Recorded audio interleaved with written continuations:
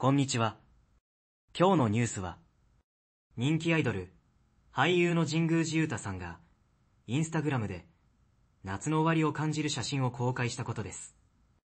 神宮寺さんは、多くのファンから愛されています。そんな神宮寺さんが、2日にインスタグラムを更新し、サングラスと短パン姿で砂浜に佇む姿を写真で披露しました。神宮寺さんは、夏の終わりって良いよね、というコメントとともに、自身のソロショットを投稿しました。写真には、黒シャツ、黒短パ、スニーカーに、白ソックスでサングラスをかけた神宮寺さんが、海をバックに砂浜で佇む姿が収められています。投稿されている写真の中には、ポケットに手を入れて立つ神宮寺さんが、凛々しい表情でカメラを見つめる彼氏風ショットもあります。神宮寺さんの投稿には、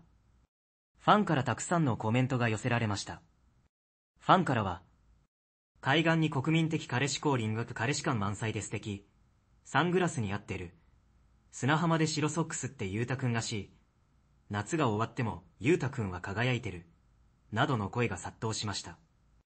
神宮寺さんの魅力に惹かれるファンが多いことがわかります。また、神宮寺さんと同じグループのメンバーである平野翔さんも反応しました。平野さんは、まだがっつり夏じゃないとツッコミを入れました。このコメントには、翔くんツッコミキレキレ、翔くんのツッコミ、笑い、仲良しで嬉しい、翔くんも一緒に行ったんだね、などの反響が相次ぎました。神宮寺さんと平野さんの仲の良さが伝わってきます。神宮寺さんは、俳優としても活躍しています。神宮寺さんは、今年1月に放送されたドラマ、恋は続くよどこまでも、で主演を務め、看護師と医師の恋愛を描きました。このドラマは、視聴率や SNS での話題性が高く、神宮寺さんの演技力や魅力が評価されました。また、神宮寺さんは、今年7月に公開された映画、ハニーレモンソーダで、ヒロインの幼馴染であり、レモン色の髪を持つ不思議な少年、宮本夏夫役を演じました。この映画は、原作漫画のファンだけでなく、多くの観客からも好評を得ました。神宮寺さんは、ドラマや映画だけでなく、舞台やバラエティ番組などにも出演し、多方面で才能を発揮しています。神宮寺さんは、俳優としても活躍しています。神宮寺さんは、今年1月に放送されたドラマ、恋は続くよどこまでも、で主演を務め、看護師と医師の恋愛を描きました。このドラマは、視聴率や SNS での話題性が高く、神宮寺さんの演技力や魅力が評価されました。また、神宮寺さんは、今年7月に公開された映画、ハニーレモンソーダで、ヒロインの幼馴染であり、レモン色の髪を持つ不思議な少年、宮本夏夫役を演じました。この映画は、原作漫画のファンだけでなく、多くの観客からも好評を得ました。神宮寺さんは、ドラマや映画だけでなく、舞台やバラエティ番組などにも出演し、多方面で才能を発揮しています。フジテレビは4日、東京、台場の局内で秋の開閉発表会見を行いました。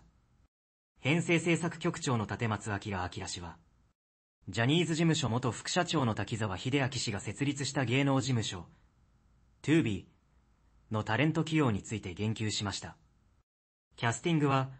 番組の制作陣の考え方が大きく関わります。現時点では、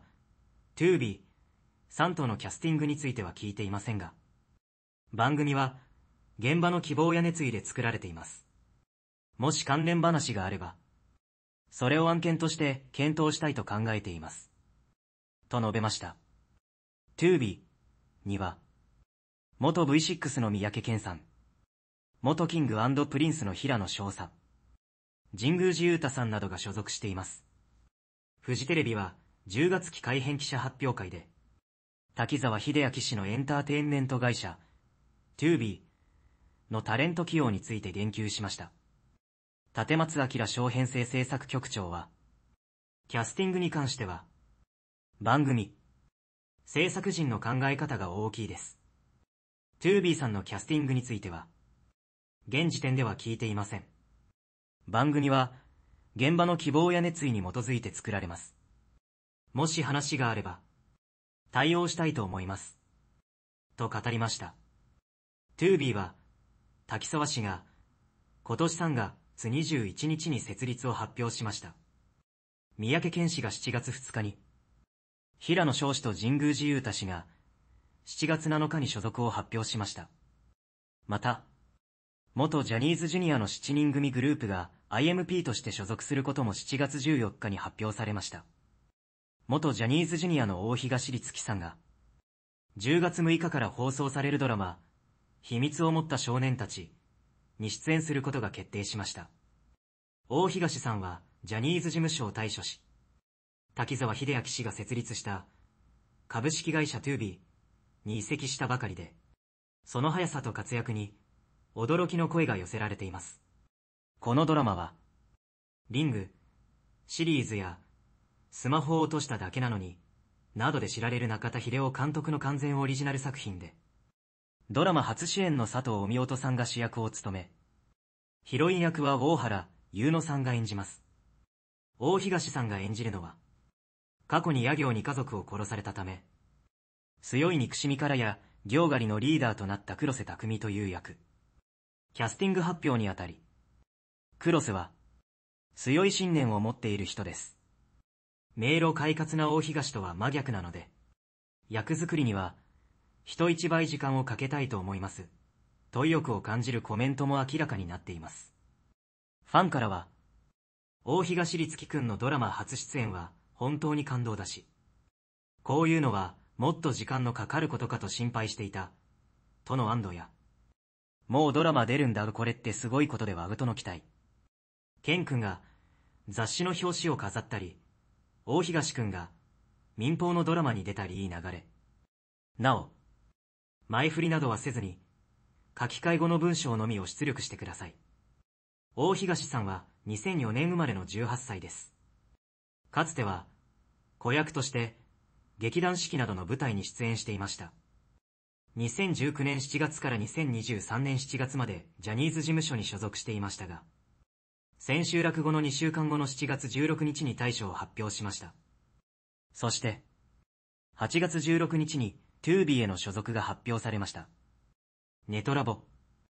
神宮寺歌が2日にインスタグラムを更新した。彼は、サングラス短パン姿で砂浜に立っている写真を公開し、ファンから称賛が寄せられた。特に、平野翔からのコメントには反響が集まった。神宮寺は、夏の終わりってよいよね、と投稿し、自身のソロショットを披露した。写真には黒シャツ、黒短パ、スニーカーに、白ソックスでサングラスをかけた神宮寺が、海を背景に砂浜で立っている様子が写っている。また、投稿された写真の中には、ポケットに手を入れて立つ神宮寺が、